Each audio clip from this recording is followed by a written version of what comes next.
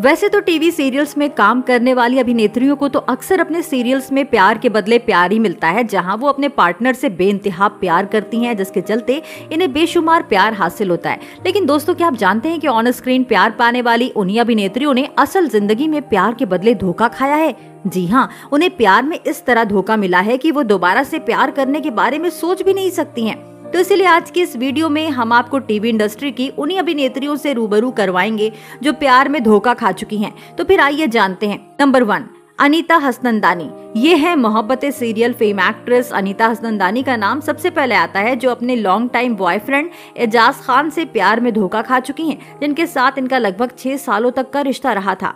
मगर एजाज ने इनसे अपने सारे रिश्ते नाते तोड़कर ब्रेकअप कर लिया, जिसके चलते ये पूरी तरह से टूट गई थी। Number two Jennifer Winget TV की गॉर्जियस एक्ट्रेस जेनिफर विंगेट ने भी प्यार में पूरी तरह से धोखा खाया है। जी हाँ ये सीरियल दिल मिल गए के दौरान एक्टर करण सिंह ग्रोवर को पसंद करने लगी थी और उन्हें डेट भी करने लगी थी, जिसके चलते इन्होंने साल 2012 में शादी भी कर ली थी। लेकिन इनकी शादी सिर्फ़ और सिर्फ़ दो ही साल चली, क्योंकि करण सिंह ग्रोवर ने इन्हें धोखा देकर किसी और का हाथ थाम लिया। और इसी वजह से इनका शादी और प्यार पर से हमेशा हमेशा के लिए विश्वास उठ चुका है।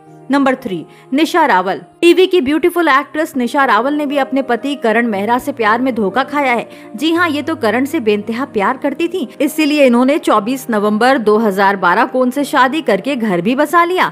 अगर करण इन्हें शादी के बाद में बहुत टॉर्चर करते थे, जिसके चलते इन्होंने करण को तलाक दे दिया और इसी से साफ़ ज़ाहिर होता है कि इन्हें भी प्यार में सिर्फ़ और सिर्फ़ धोखा ही मिला है। Number four Rubina Dilaik TV industry की hot and bold actress Rubina Dilaik भी उन्हीं में से एक हैं, जो अपने को एक्टर अविनाश सचदेव से प्यार में बुरी तरह से धोखा खा चुकी है, जिनके साथ इस सीरियल छोटी बहू में काम करके उन्हें डेट करने लगी थी। और सात सालों के बाद इन्होंने तो अविनाश के साथ शादी करने का फैसला कर लिया था, लेकिन जब तक ये उनसे शादी करती उससे पहले ही अविनाश इन्हें धोखा देकर हमेशा हमेशा के लिए चले गए। Number five, Divyanka Tripathi. TV की ब्यूटीफुल एक्ट्रेस दिव्यांका त्रिपाठी ने सीरियल बनू में तेरी दुल्हन के एक्टर शरद मल्होत्रा को पूरे आठ सालों तक अपना बॉयफ्रेंड बनाया था।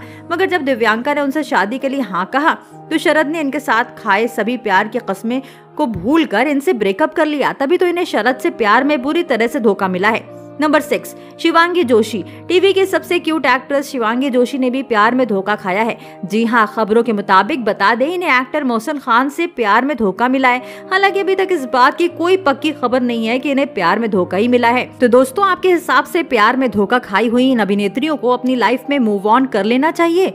आप हमें अपनी राय कमेंट करके ज़रूर बताएँ और ऐसी तमाम खबरों को जानने के लिए आप हमारे चैनल को सब्सक्राइब करना ना भूलें।